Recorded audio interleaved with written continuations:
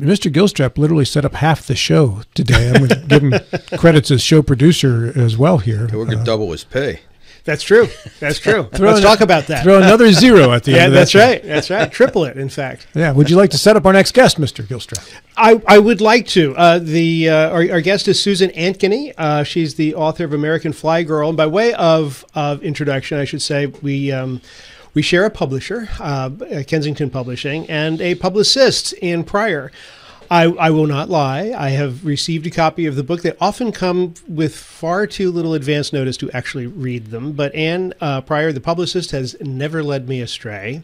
Uh, she's sent us a, a lot of really fine authors. And Susan, welcome to the program. Can't wait to talk about this book. Uh, the uh, I've, I've read the notes on it. it. Seems fascinating. Welcome to the program.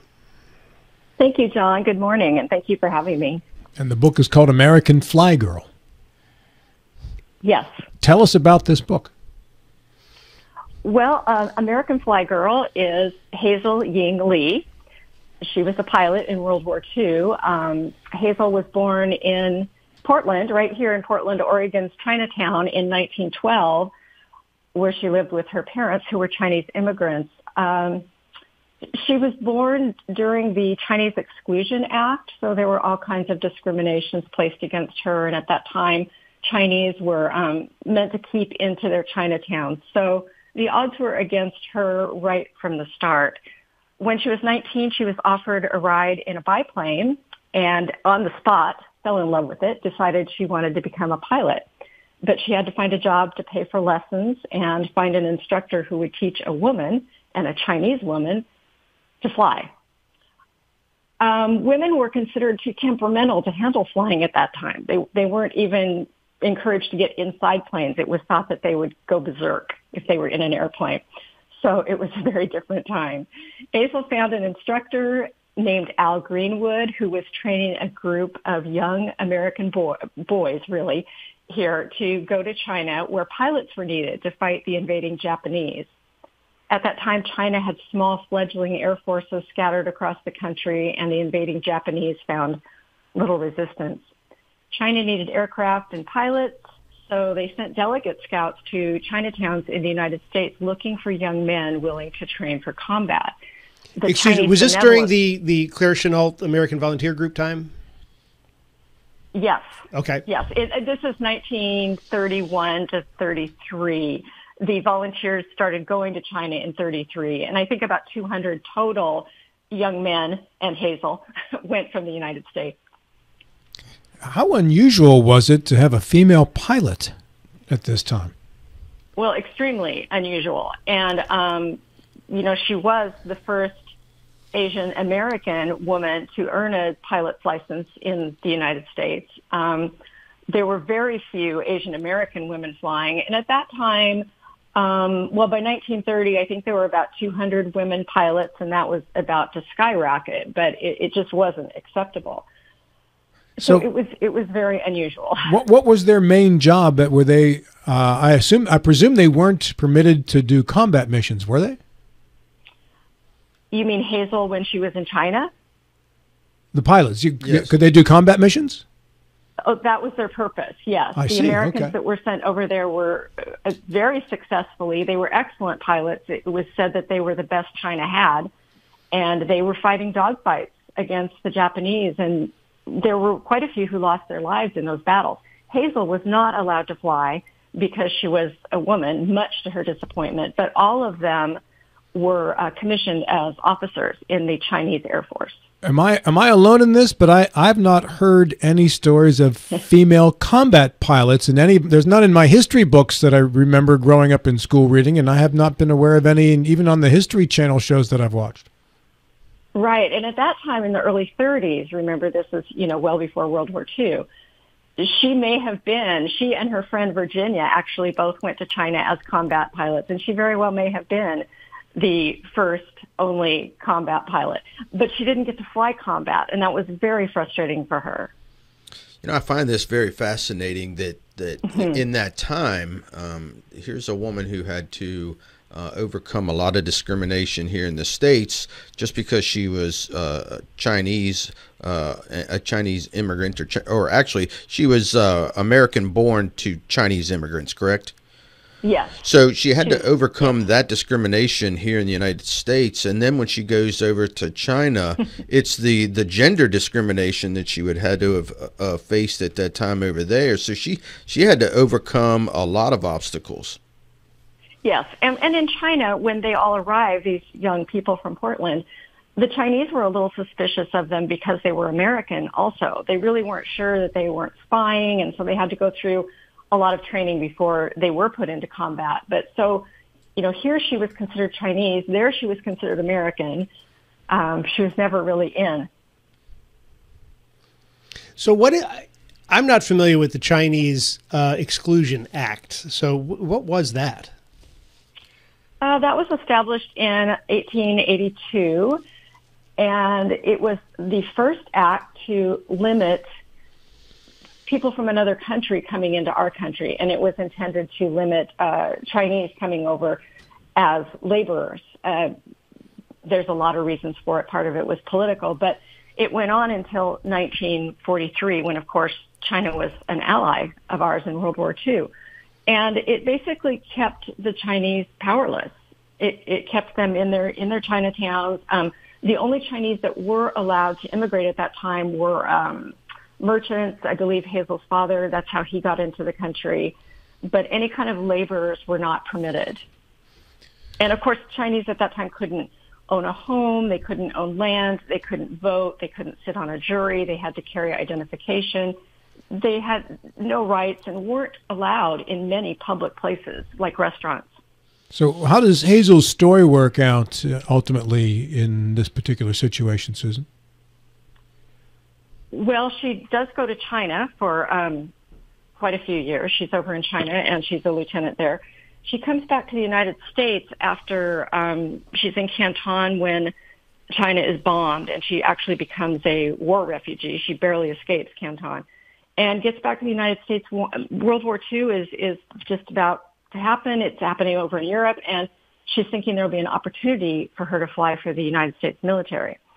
And she continues to write and ask them, and they turn her down until um, she learns about the WASP program being set up for women pilots to replace men who are ferrying aircraft in the United States to release them for combat overseas.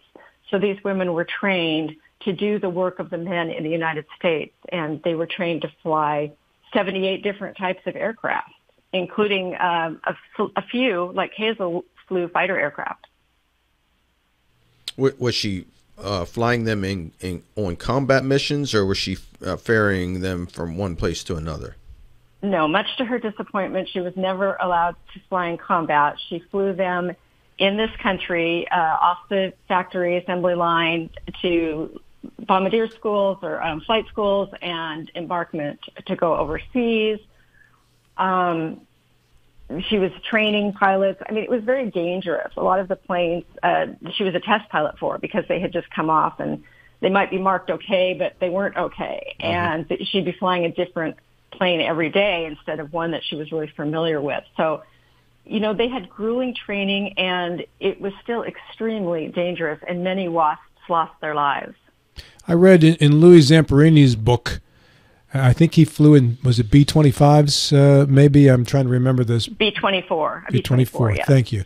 More pilots and crew members in World War II were killed in training missions than were actually shot down and killed.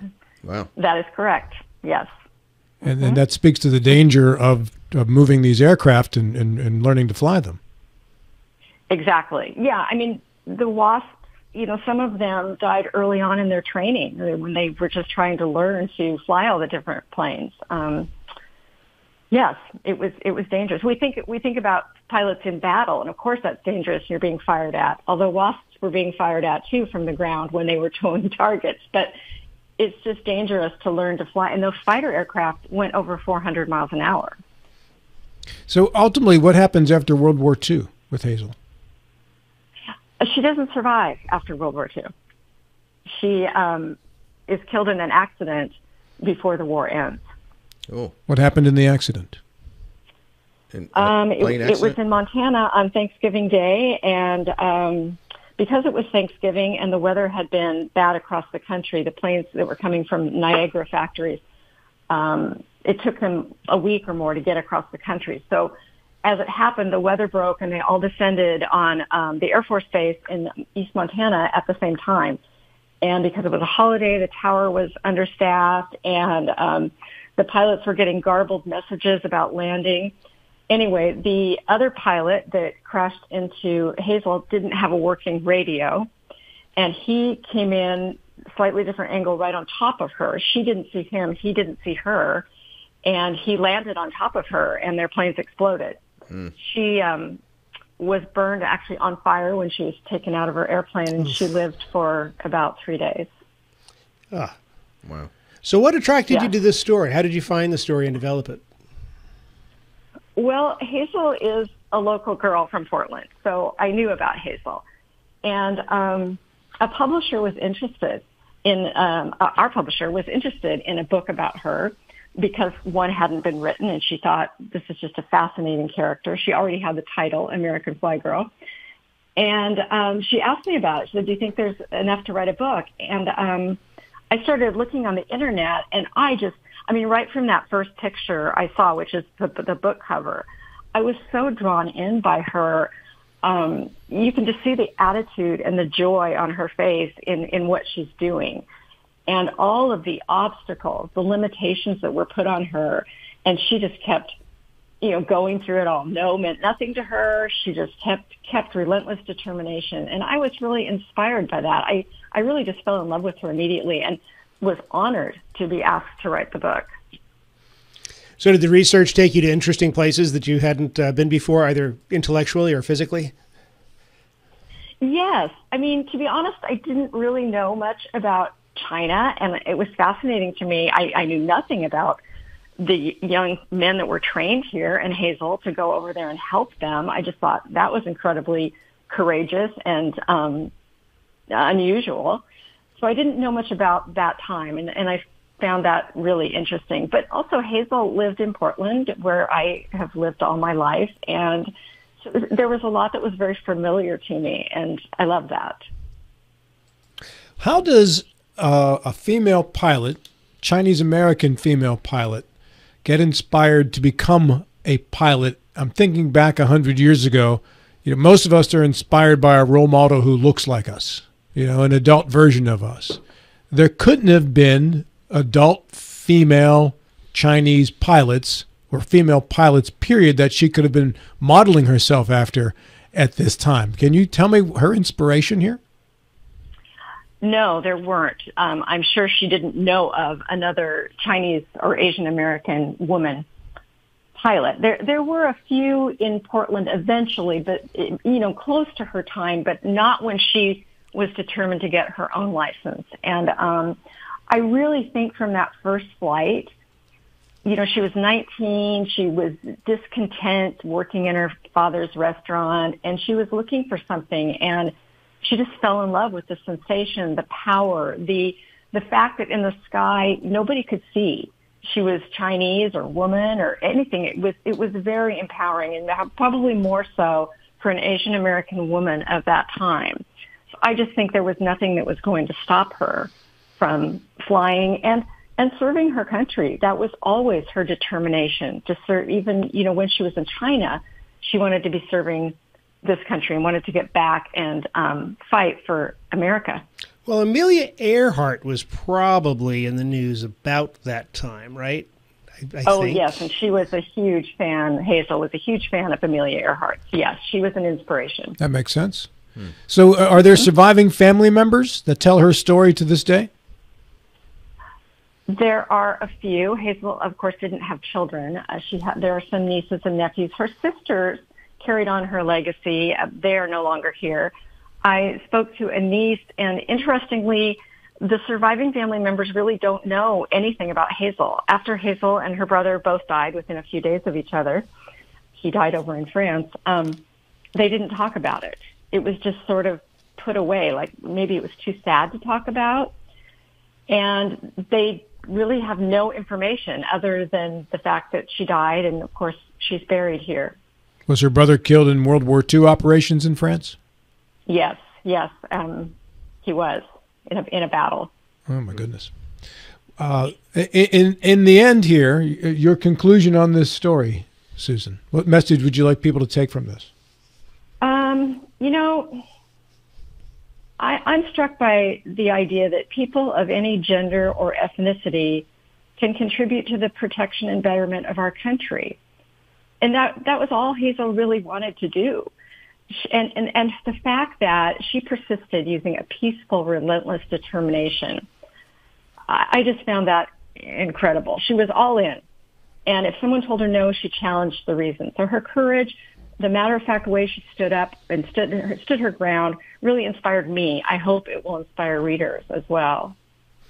Well, I want you to know one of our Facebook listeners just uh, put up that they have pre-ordered your book. So, you know, this is at least worth the, the half hour you spent with us. So, oh, thank you very much. Well, it's fun talking with you, John. It's definitely worth the time. what What is your next project, Susan? I'm not sure. Um, I'm toying with the idea of writing about Arthur Chin, who was uh, is considered the first World War II flying ace, and he was in that class of flying school students here in Portland that that went to China. So he is mentioned in American Flygirl, and his story is fascinating. So um, we're we're kind of playing with that right now. All right, very good. Have you had breakfast yet in Portland?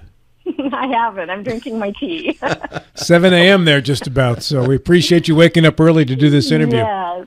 Where, oh, I was happy to do it. Where can we find your book, Susan? Uh, my website is susantateankeny.com. And it's at most bookstores, but you will find links on my website. And as you know, I'm on Facebook and Instagram. And the official pub date is not till April 23rd. So if it's not there yet, yes. be patient. Tuesday. Tuesday. Yes. Susan, thank you so much. We appreciate you waking up early and making the cross country phone call. Oh, thank you very much. Have a great day. Take care. Best Thank of you. luck with the book, American Flygirl at 955.